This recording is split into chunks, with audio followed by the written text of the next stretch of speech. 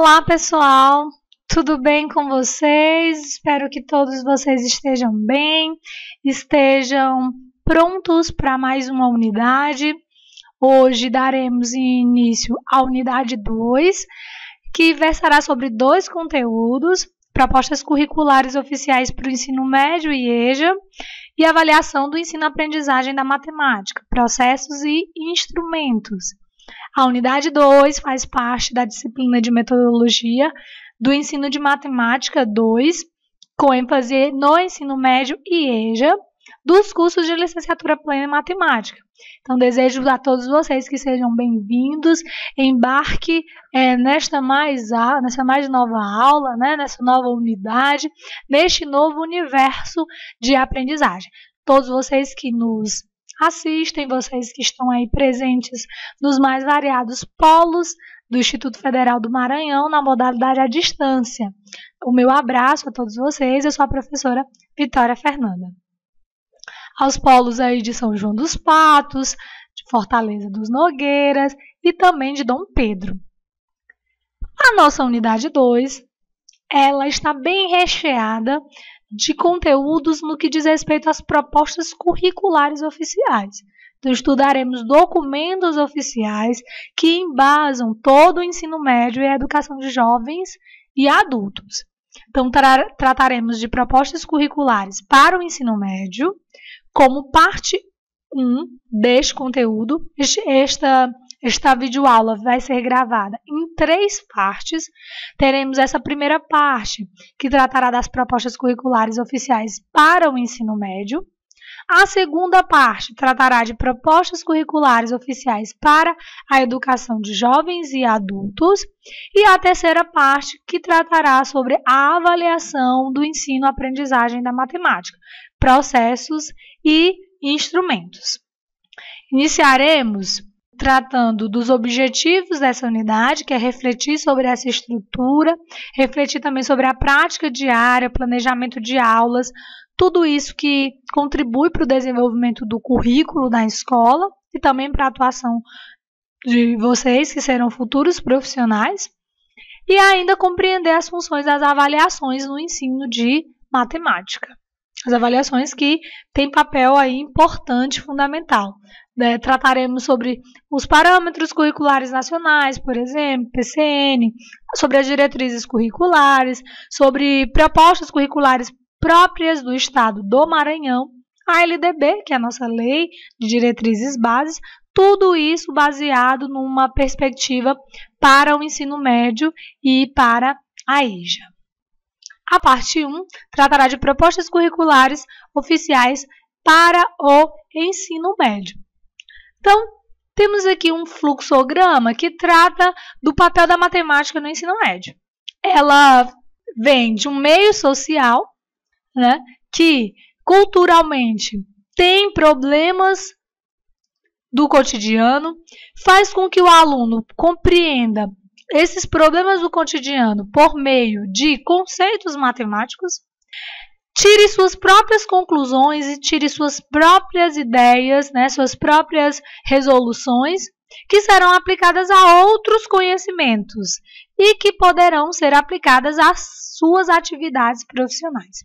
Então, o ciclo do papel da matemática no ensino médio tem sido esse.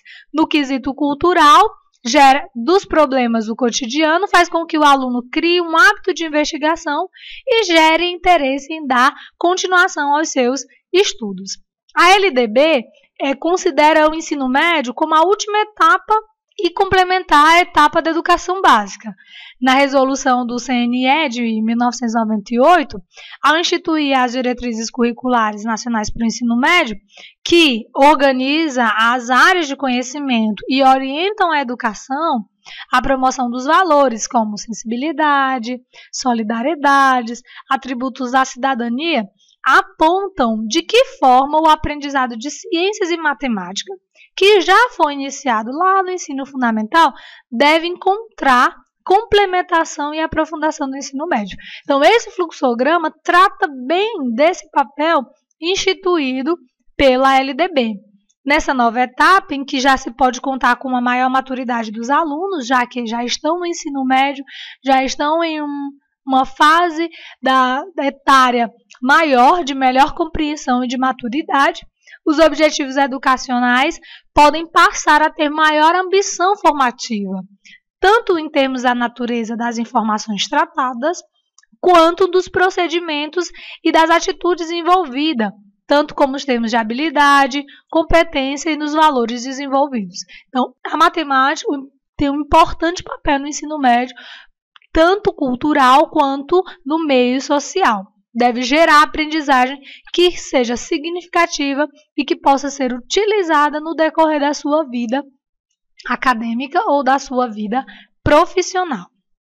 Os documentos oficiais que mais temos é, bases né, é, para recorrer é a LDB, Lei número 9.394, mais conhecida como 9394 barra 96, porque ela é de 20 de dezembro de 1996. É a mais importante lei brasileira que se refere à educação. Principais características de lei de diretrizes básicas da educação estabelece que todo cidadão tem direito e acesso gratuito ao ensino fundamental. Ele trata como os nove anos de estudo como obrigação, aponta para que esse direito seja gradativamente levado também ao ensino médio, determina que é função do governo federal, estados, municípios, no tocante à gestão da área da educação, apresenta diretrizes curriculares básicas, estabelece as obrigações das instituições de ensino, determina a carga horária mínima para cada nível de ensino e aponta funções e obrigações dos profissionais da educação. Na LDB, na Lei de Diretrizes Básicas da Educação, a seção 4 é toda destinada ao estudo sobre o ensino médio. Temos hoje um grande, uma grande discussão que sobre a Base Nacional Comum Curricular. É uma proposta para uma proposta para o ensino médio.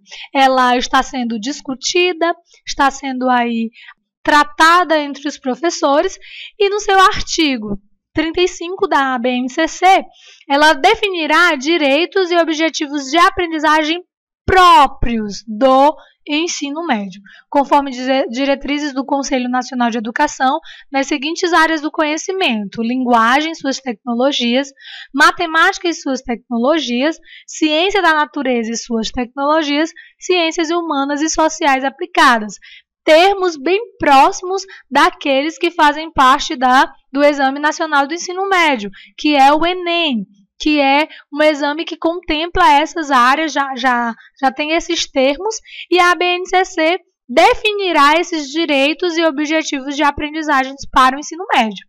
É, existe também uma parte diversificada do currículo, que muito tem se discutido sobre até que ponto essa parte diversificada deveria é, ser obrigatória, né? De que trata o, o artigo 26, definida em que em cada sistema de ensino deverá ser harmonizada a base nacional comum curricular. O objetivo da BNCC é ter um currículo único, um currículo em que todos possam é se fazer referência a ele dentro das instituições brasileiras, para que todos tenham a mesma oportunidade de aprendizagem.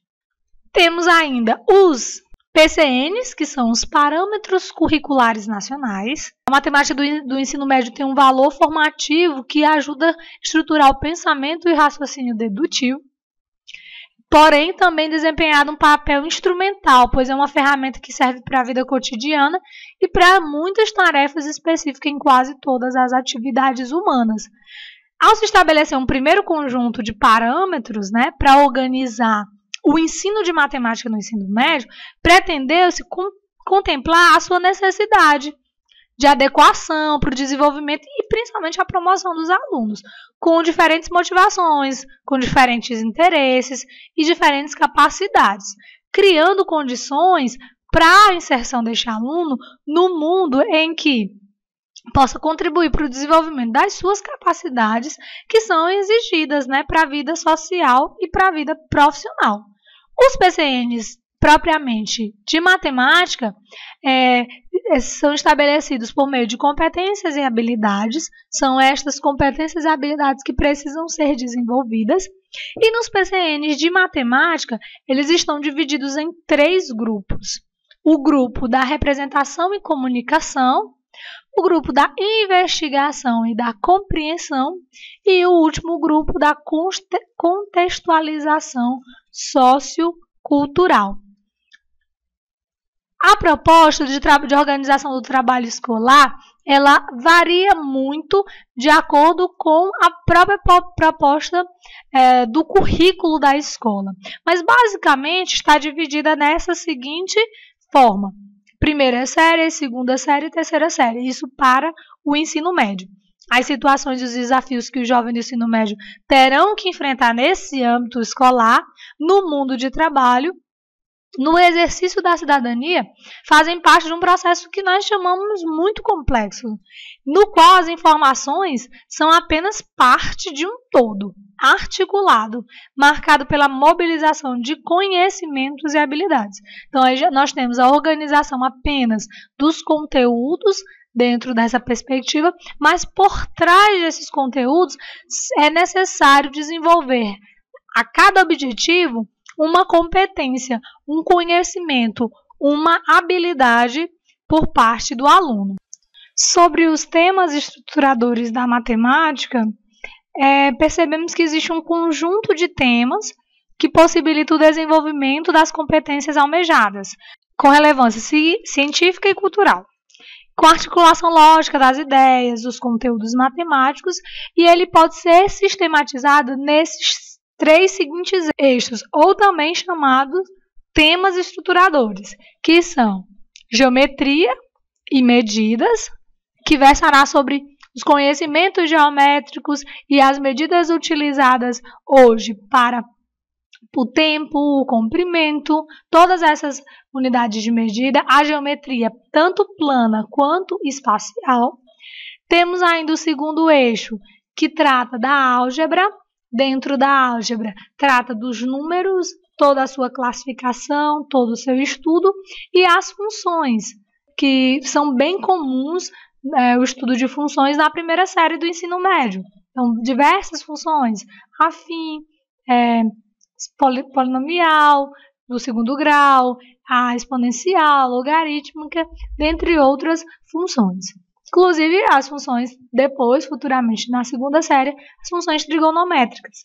E há o outro eixo ou outro é, tema estruturador que é da análise de dados, que aí parte para os conteúdos de estatística e de probabilidade, né? Que vai fazer a análise desses dados.